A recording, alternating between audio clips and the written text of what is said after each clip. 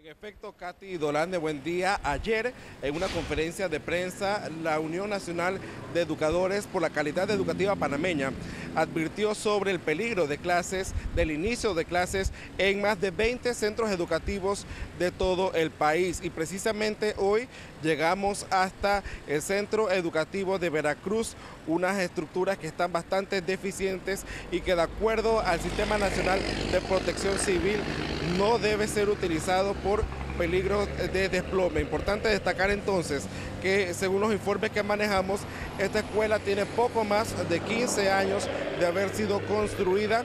Por tanto, los padres de familia aún no saben si comprar los útiles escolares y los uniformes para mandar a los estudiantes a recibir clases a partir del 5 de marzo cuando inicien. Vamos a escuchar declaraciones de un padre de familia de la comunidad de Veracruz en relación al mal estado de esta escuela. Adelante.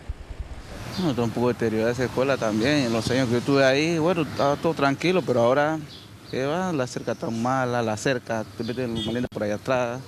O sea que está descuidada, la escuela está descuidada bastante. Pero es una escuela relativamente nueva. Bueno, no, es ya, ya vieja, pero nueva la que estaba acá abajo, la que está acá abajo de los niños, es nueva, pero para la que está allá atrás esa es viejísima.